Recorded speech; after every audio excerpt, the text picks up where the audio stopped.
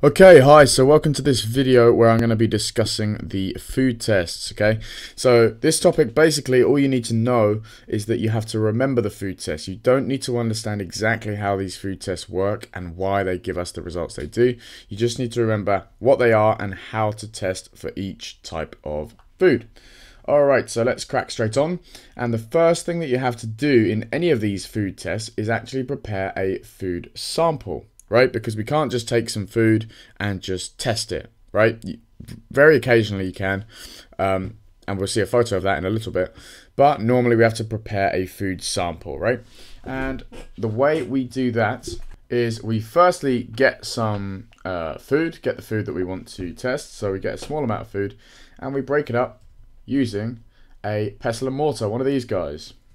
Okay, this breaks things open and allows us to get the substances out of the food. Okay, once we've done that and we've ground it up, we transfer some of that into a beaker. Right, I'm just going to draw a beaker. You know what a beaker is. Just a beaker like this. And we transfer the food or whatever it's going to be. Okay, let's get rid of that. And then what we do is we add some distilled water. Okay, it's important that it's distilled water because if it's not distilled water, uh, then there may be other things in there that are going to contaminate our sample right? Then we stir the mixture um, just to dissolve that food. So eventually this food will all dot around in here and hopefully it will go kind of clear, right? Then lastly, what we're going to do is we're going to filter it, right? We're going to filter that. Uh, so, so we transfer basically that into another beaker. Yep, but that beaker is going to have a filter funnel, blah, blah, blah, and you're going to have filter paper, right? And then this is transferred whoop, sorry about that, transferred into here. Okay, the reason for that is because we're going to still have solid food particles in here, which we don't want, right? They basically get in the way. We don't want solid food particles, we want a liquid solution, right? And so we pour that in, and then you'll end up with our food sample, which is this thing here. All right, and that is basically how we prepare the food sample. In all of our tests, we need to prepare a food sample, and so that's what we are going to do. So let's first take a look at how we test for what is known as a reducing sugar. Okay, the way we do that is by a test known as Benedict's test. Okay, now here I've given you already the results of Benedict's test. Basically you can see that if you had a food sample and you carry out the test, you're going to get some kind of result. In this case it is a coloured result and it can actually be a different colour depending on the amount or the concentration of your sugar that you have. Okay, so first of all I'm going to say that this tests for reducing sugars. Alright, so how are we going to carry out this test? Well, the first thing we need to do is prepare the food sample. This food sample and transfer to a test tube. Okay, normally when you're transferring to a test tube, it's going to be around about five centimeter cubed of sample. Uh, that's the same as five milliliters, right? A centimeter cubed is a milliliter. Then what do we do next? Next, we set a water bath to 75 degrees oh, Celsius. Okay, you set your water bath to 75 degrees Celsius. Okay, then what we do is we take a solution, and this is why the name of the test is Benedict's test. We take, um, or we add, sorry, would be a better word, add Benedict's solution to the tube. All right. Okay, that's into the test tube. Benedict's solution um, is just a reagent that you'll be given. You don't need to know what's in it. Okay, but you transfer that to the test tube. By the way, this is before putting it into the bath. Okay, so this is before putting it into the water bath. Right, you've prepared the water bath first just so you can get it up to 75 degrees Celsius, but Benedict's solution is added before you put the tube in the water bath. Okay, then we add the test tube to the water bath for five minutes. Okay, and this is important with the tube pointing away from the person. Okay, so you want the tube pointing away just in case there are any fumes that are going to be given off um, as a result. It's just a way of working safely. Okay, then what's going to happen after those five minutes is you're going to get a color change. Okay, color change indicates presence of reducing sugar. Okay, so if you get a greeny yellow color change, then it means you have some reducing sugar in there. You can see that in the diagram here. Let me just enlarge it for you. Okay, um, orange is more, and then red is quite a lot. Blue, well, that's the color of Benedict's solution. Okay, so the Benedict solution is blue anyway, and so there's no color change there. That means you've had no reducing sugar, right? You might you might be wondering what a reducing sugar is. You don't actually need to know, but basically, a reducing sugar is one normally, which is quite a small sugar. So something like glucose uh, would be a reducing sugar. Non-reducing sugars are normally bigger. Um, but you don't need to go into that much detail. Okay, so that's it uh, for that test. Let's move on to the next one, uh, which is our test for starch. Right, this is a really simple test, and you've got a nice diagram there of um, of it working because all you're doing is gonna you're gonna add iodine and observe to see if you get a color change. Now you should know that starch is a plant's way of storing um, glucose. Okay, it's a large molecule. Just like we store our glucose as glycogen, plants use starch. Okay, so things like potatoes, things like rice, pasta, bread, etc. They're all going to have a high starch content, and you would expect a positive result. Okay, so what you're going to do here is you're going to add um, a food sample to a test tube. Okay, and then add a few drops of iodine solution and observe. Okay, so you add a few drops of iodine solution, okay, and the blue-black solution um, is a positive result. Okay, that means that you have starch present. If you don't have starch present, so no change if negative, and that is still an orange-brown solution because the iodine is orange brown. Okay, so if we have a look at the bottom picture, you can see a positive and a negative next to each other. So this one here is what is a test tube which obviously contains starch. They added iodine and it went blue-black, whereas this here is a negative uh, result. We've added iodine and it stayed the color of iodine. So there's no change in color. It's still orange brown. Okay. So that's what we get. And this here is an interesting picture. It shows that you can actually carry out this test on the food itself.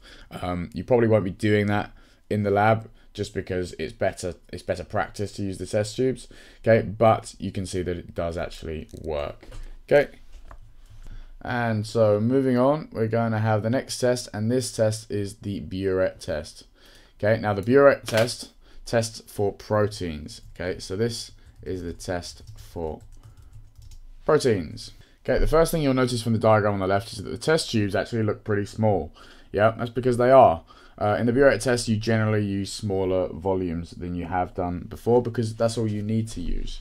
Okay, so you prepare a food sample as always prepare food sample and add two centimeter cubed okay just pretend that centimeter cubed of sample to a test tube.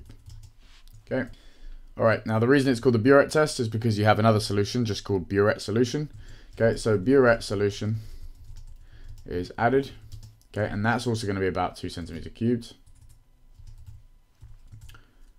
And shaken gently, okay, in the tube.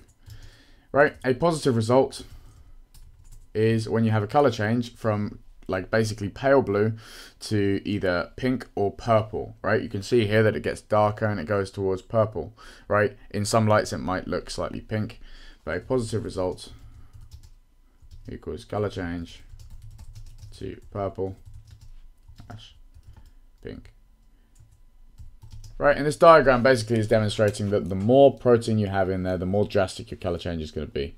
Right, so as you've got uh, higher amounts of protein, you can see that the, the test tube solutions get darker and darker and darker. And that is basically it for the biuret test. So it's pretty simple. Now, lastly, we have the Sudan 3 test. Okay, now this test um, it's very obvious when you when you get a positive result. This test is the lipid test. Okay, so it tests for lipids. Lipids uh, is the scientific word for fats, right? Fats are solid lipids and oils are liquid lipids. Overall, they're called lipids, okay? So fats and oils are both lipids. All right, now what you do is prepare a food sample, as we already know we're going to do. Prepare a food sample, okay, and add some, right, I'm going to say 5 centimeter cubes, right, just as normal to a test tube. Okay, importantly, when you prepare the food sample for the lipids, okay, you actually don't have to filter it, right? This test works even if you don't filter the solution, which is really good. If you do filter it, uh, then you may be you may be removing, sorry, solid fats. That's important because uh, fats, in general, fats do not dissolve, right? So if you were filtering and getting rid of all your solids, and the only fats you had in there were solids, you actually would would be ruining the test.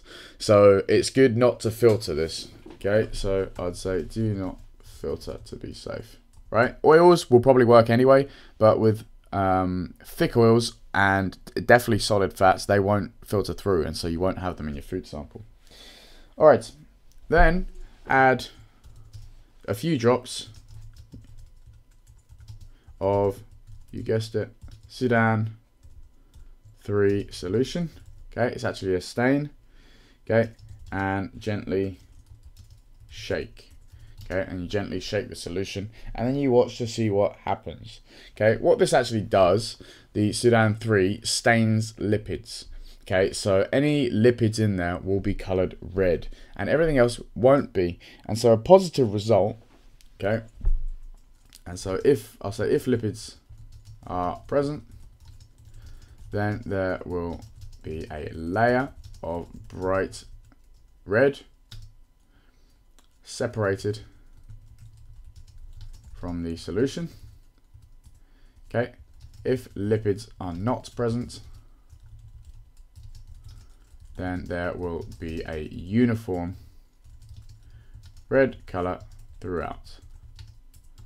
Okay, because the Sudan 3 is a is red in color, but if there are lipids present, then the Sudan 3 will actually stick to those lipids and and the rest of it will not be stained red. Okay, so on the left-hand side here, you see that we actually have red all the way through. Okay, that means that there are no lipids present. Okay, no lipids in that one. Here, okay, you see we have a clear layer and we have the red layer. Okay, and that red layer is where your lipids are. Right, because lipids don't like water, so they don't like the distilled water we use to make our solution. They separate out, and so you have that layer of lipid that's being stained. Alright, so that was quite a lot of information in a fairly short period of time, but I hope that's made sense. That None of those tests are overly difficult. Okay, it's preparing your food sample, you need to know how to do that. You need to know the details of each test and the names, but you do not need to know the specifics about why the tests work and about what's actually in the reagents. So you don't have to know what Sudan 3 is, you don't have to know what Biuret is, etc, etc. Okay, so just remember those and remember what they test for and you will be fine. So, if there are any questions, please post them in the box below and I'll be sure to get back to you or send me a direct email. But as usual, please do like and subscribe because it really helps me out. And of course, you'll be notified when new videos become available, which is good. But until then, um, I look forward to seeing you in the next one.